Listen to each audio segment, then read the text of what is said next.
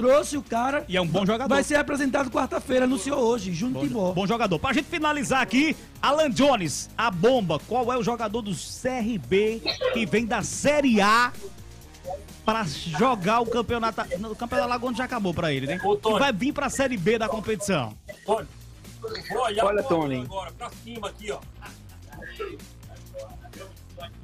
Ô, Tony, não é uma, não é O uma Denis negociação- caiu, O, Denis. dono, o Denis olhou tudo pra cima e caiu. Caiu. A cadeira virou do Não, rapaz. Eita, meu Deus do céu. Mas Fala, olha, Nando.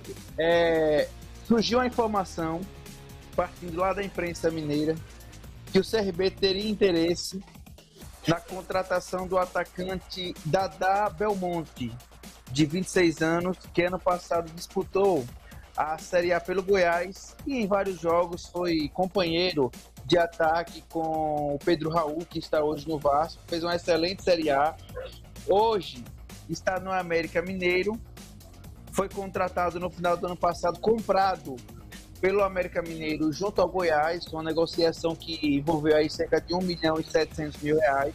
Ele tem contrato com o América Mineiro até 2025, mas não é titular na equipe hoje do técnico Wagner Mancini. Inclusive, o América Mineiro vai disputar a final do Mineiro com, o Atlético Mineiro. O América eliminou o Cruzeiro. Então, é uma negociação, uma informação que surgiu lá partindo da imprensa mineira. A gente está confirmando aí, ouvindo várias fontes.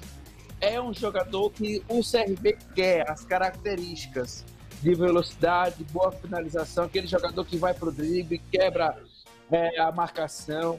É um jogador ideal. O CRB conseguir trazer o Dadá Belmonte para a disputa da Série B, é um jogador de nível de Série A hoje.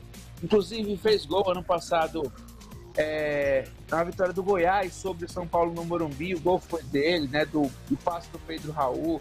É um jogador é, importante, tem nível hoje tranquilamente na Série A. E se vir para o CRB, é um baita de um reforço, né? Uma grande contratação para o Clube de Regatas Brasil, já visando a Série B. Muito bem, 21 horas e 1 minuto só pra gente